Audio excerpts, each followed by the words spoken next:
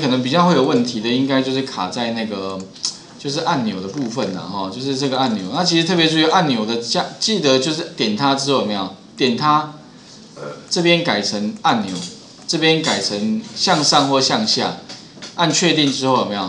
就直接哦，这个特别注意哦，就直接在下面直接输入那个超连接，然后再来直接改上面的名称，就不会错哦哈。啊，如果说你漏掉了，记得以后比如说你这样子。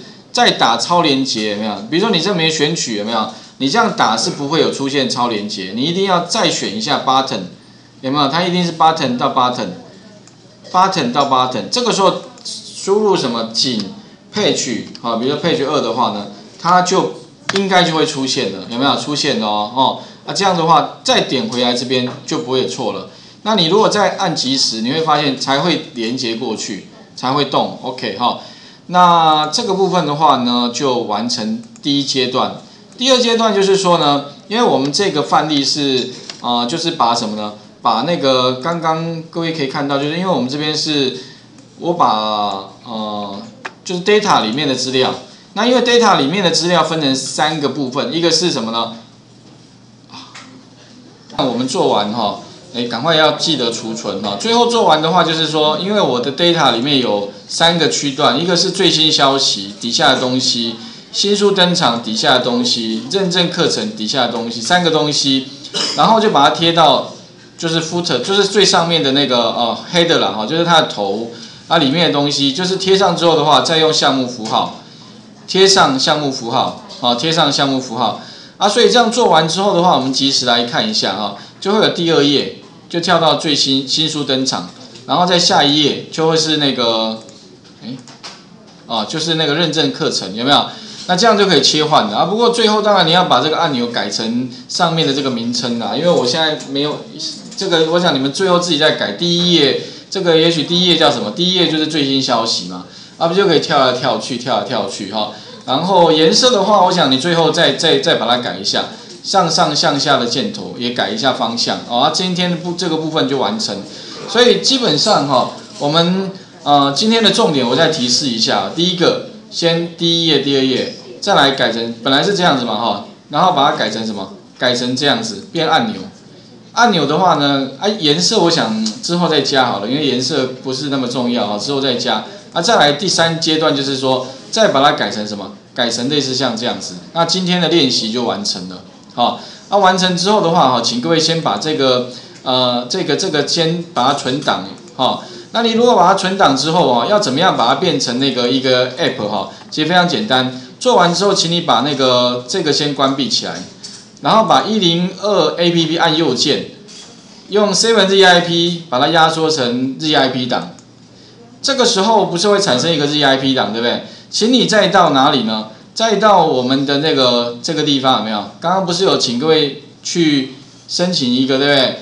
你做完刚刚的动作，就产生了一个 app 了。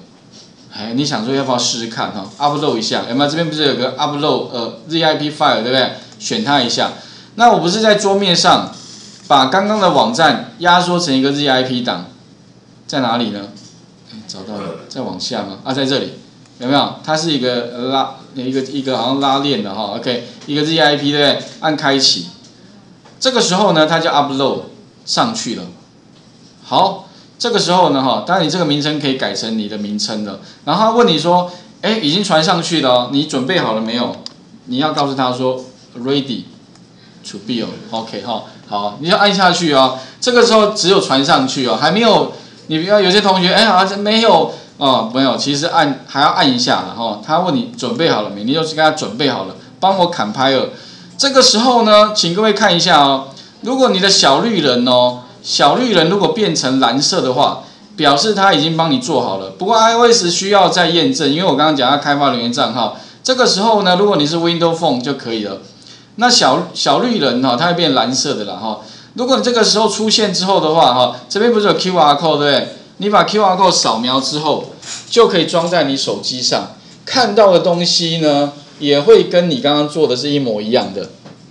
好，有没有？刚刚做的东西马上就放你手机。哎，有没有看到？这个时候已经出现了一个小绿，应该小蓝人了，有没有？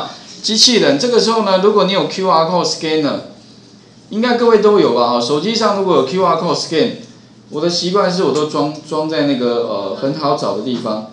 啊，QR code scan 有没有？你就把它 scan 一下。啊，如果你这时候有手机上有 QR code scan 有没有？你就把它 scan 之后的话，啊，它会有一个连接。这个连接你就把它点击之后的话，刚刚的 app 哈就会出现了。你就把它装在你的手机里面。装了之后的话，哈，因为它会出现要不要安装下载。你就把它点击安装完，手机里面就会有你刚刚做的 app 咯。OK，所以哈利用这样的方式的话，哈以后哎网站变 app 其实是非常简单的。好 OK，好，那把画面还给各位一下好了哈。好，试一下好了，因为这个今天只有第一次上课哈，我们的目标就是至少让各位知道说，哎可以很快的哈，把一个一零二我们之前做过的网站哈，哎快速的变成。啊，一个 app 的流程。那下个礼拜的话，哈，我们会慢慢再增加一些，增加一些东西啦，让你的 app 看起来哈，呃，更加漂亮、美观、专业的一些小技巧。然后呢，内容部分的话呢，也呃，主要是用我们上课的那个范例。当然哈，将来会有一个变化题，啊，所以今天的练习哈，呃，我想今天今天的练习，今天的练习就是你先把一零二先存起来就可以了。这个部分的话呢。